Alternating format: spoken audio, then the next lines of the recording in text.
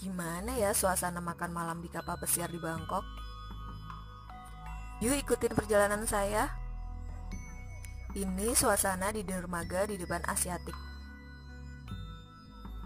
Naik kapal pesiarnya dari sini.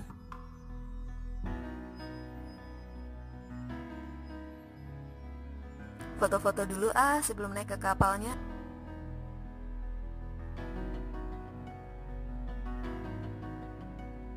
Ini kapal pesiarnya.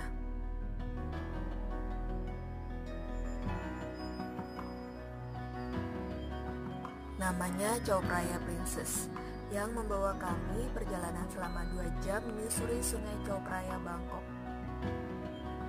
Nah ini suasana pas mau masuk ke kapalnya.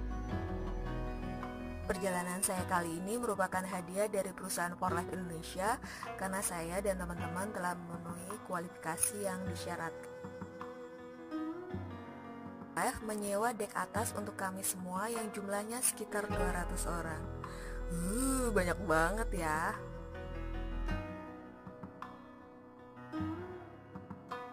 Ini suasana di atas kapalnya. Mewah dan romantis.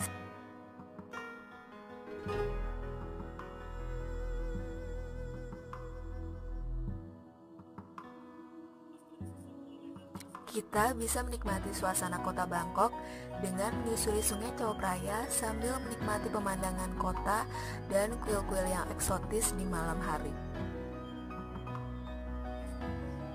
Beberapa kali kami berpapasan dengan kapal lain.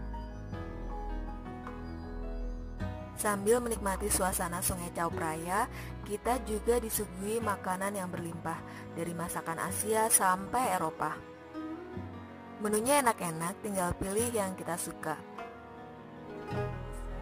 Dari info yang saya dapat dari Google, harga dinner di Princess Cruise ini sekitar 500 ribu rupiah per orang. Ih, lumayan ya.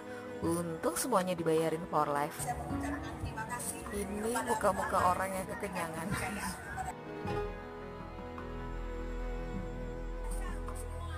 Tanpa terasa perjalanan dua jam sudah hampir berakhir. Kapal kami kembali lagi ke Asiatik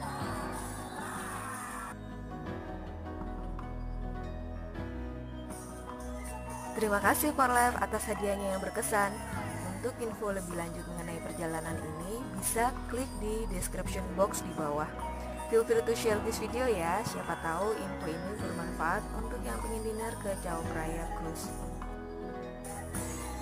Sampai ketemu di video selanjutnya.